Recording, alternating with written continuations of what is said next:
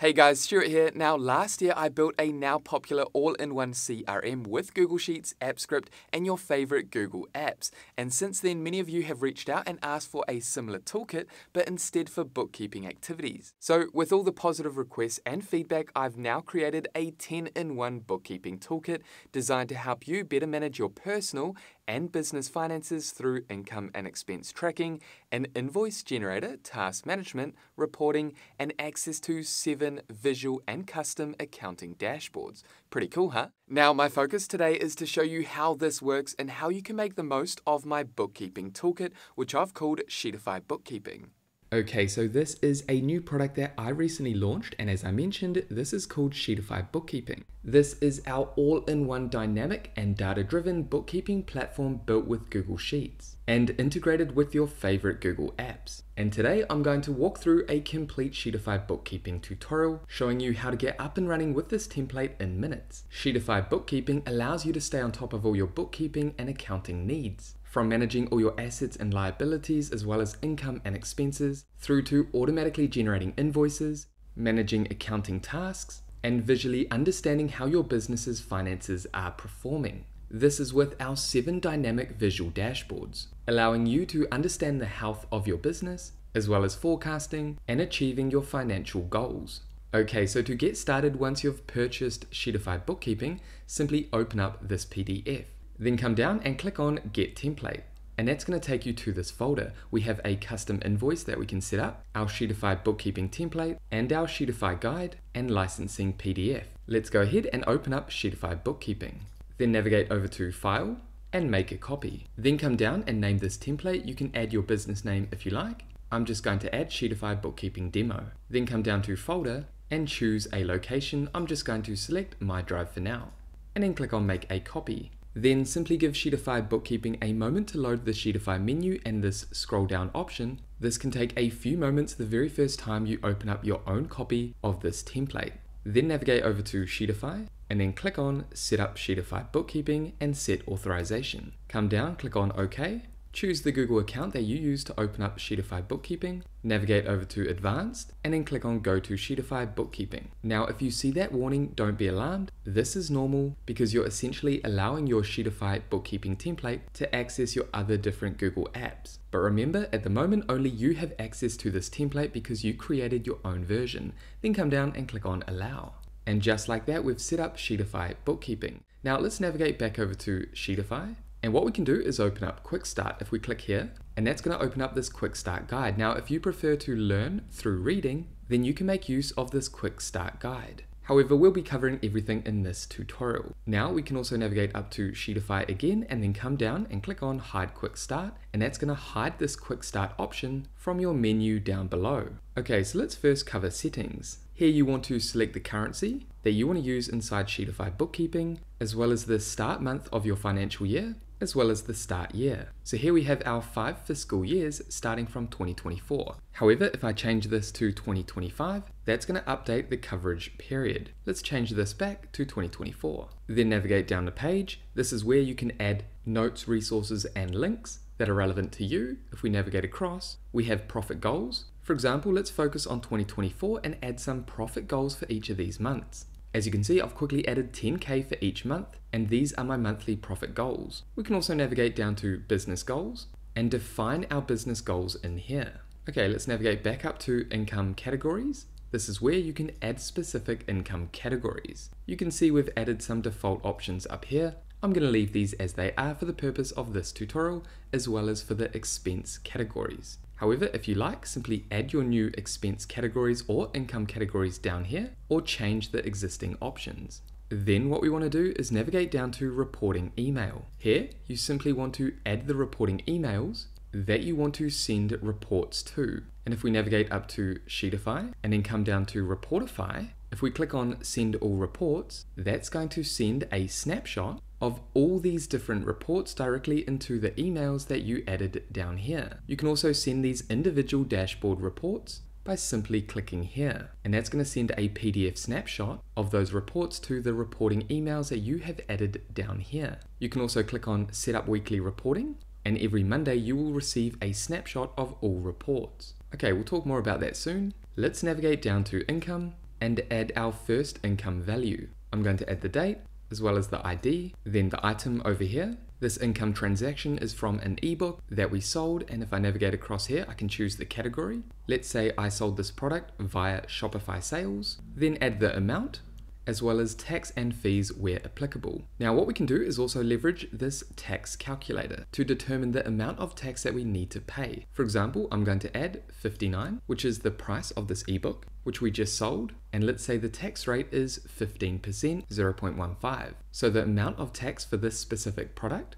this $59 ebook is $8.85. So I'm going to add that amount in here. And then transaction fees of $3 and we can see the net income over here for this particular transaction. Now what we can do is add another transaction down here or we can simply navigate up to the Sheetify menu and then click on add income. And that's going to add a new row at the top. This saves us scrolling all the way down the bottom when you have hundreds and thousands of transactions. So I'm going to quickly add another income transaction. And as you can see, one of the items we sold was a web design package. The category was web service. This was the amount, the tax, and fees. Now up here you can see the total amount of income transactions as well as total tax, total fees, and total net income over here. Okay, so we got two transactions. Let's now navigate over to expenses and quickly add two expenses similar to how we added two income transactions. Okay, so as you can see, I've added two expense transactions. We have a web developer expense, which is a salary. Let's say we paid a contractor to develop our website. That cost us $2,000. 100 of that was tax and 200 of that was fees. And you can see the net expense over here. And then we have Shopify subscription, which is a subscription under category and then the amount, tax, and fees. Again, tax and fees are optional. Again, we have a tax calculator that we can take advantage of, and up here we have all-time totals, total amount, total tax, total fees, and total net expense. Now let's navigate down to monthly dashboard. And this is where we can see the financial performance of a specific month. Let's navigate up to April and change this to July, and then change the year to 2024. Here we have income and expense details in terms of categories. We have total income this month, total expense, profit and loss, and profit margin. We have a snapshot of our income breakdown, as well as expense breakdown, income versus expenses, our profit goals, and because we're in a deficit this month, we are nowhere near achieving our $10,000 goal. Our current profit for the month is minus $242, so we're a bit off achieving this goal here. We also have expense breakdown down below.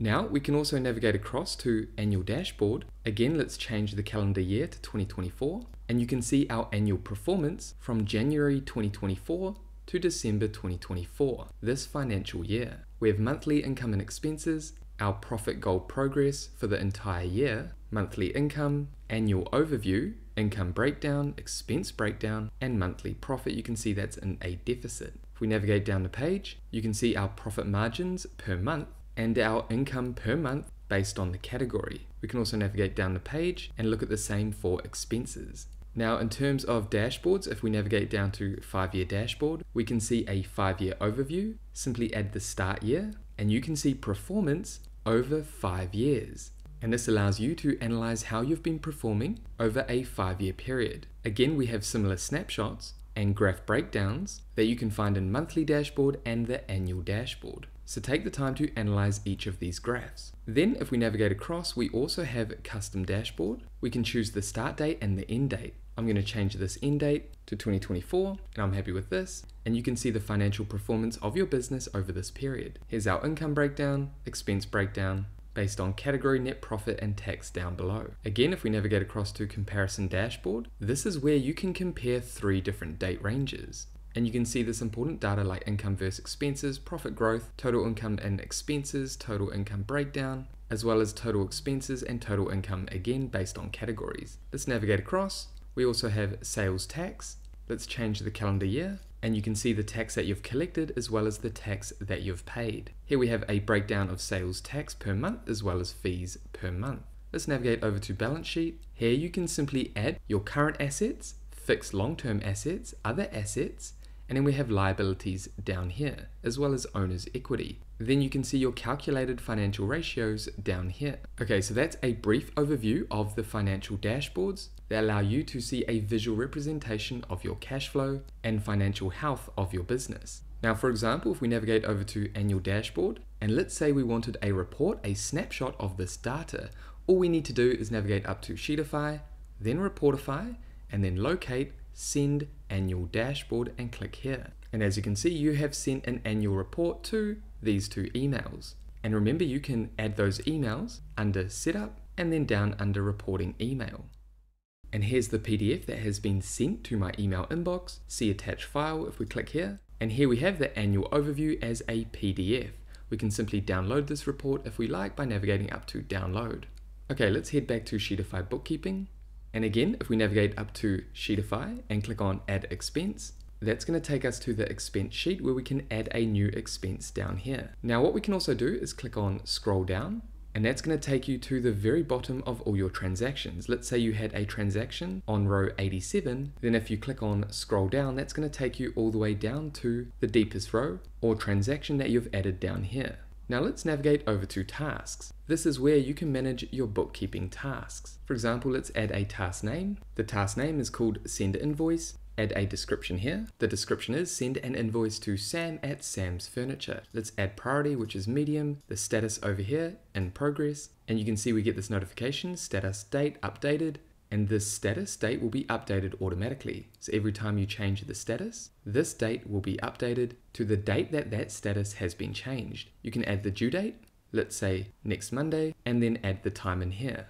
And you can add anything in here, for example, let's go 1230, now, what we can do with each of these bookkeeping tasks is we can automatically send these tasks to our Google Task app. And you can access the Google Task app from inside your web version over on the right hand side by clicking Tasks or from the Google Tasks mobile app. So what we can do is simply click on this task, navigate up to Sheetify, and then click on Taskify. And as you can see, task added to bookkeeping task list. If we click on my tasks and then come down and locate bookkeeping tasks, that's going to take us to this task list where we can see all our tasks that we've sent from our Sheetify bookkeeping directly into the Google Task app. Again, you can access this on your mobile device too if you like. And you can see details about this task and you can also modify these if you like. Now only you will see these tasks in your Google Task app. If someone else was logged into your Sheetify bookkeeping account and they navigated up to Sheetify and clicked on Taskify, that's going to send the specific task to their Google Task app. We can also click here and make this task recurring if we like. Let's close out of the Google Task app. Now to add a new task, we can simply add a new task down here, or we can click on the Sheetify menu and click on Add Task, and that's going to add a new task up above. Okay, so let's navigate back up to Sheetify, and we also have the option to set up invoicing. Now what we've created inside Sheetify Bookkeeping is a way for you to generate invoices for your customers. This is using Google Docs, Google Forms, and Google Sheets. For example, let's generate a new invoice. To do that, simply navigate up to Set up Sheetify Invoicing. And you'll see these notifications pop up down here. Essentially, Sheetify Bookkeeping is setting up the ability to generate invoices for your clients inside your account. Then you'll be taken back to Settings, and if we navigate across over to these settings here, you can see all this data has been generated and I'll cover this shortly. First, what we want to do is find the invoice template ID. To do that, simply head back to the folder that you have access to when you first got started with Sheetify Bookkeeping. And here we are inside this folder. Then what we want to do is click on this custom Sheetify invoice, navigate up to these three dots, and then click on make a copy.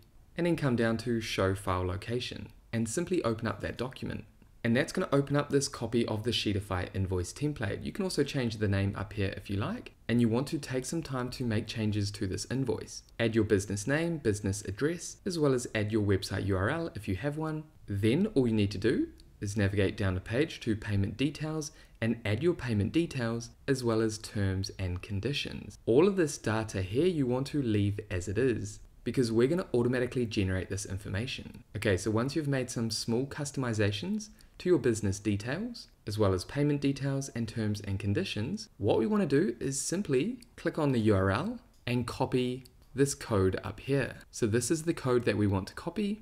Right click, click on copy, and then head back to Sheetify Bookkeeping. Then navigate over to Invoice Template ID and paste the link in here.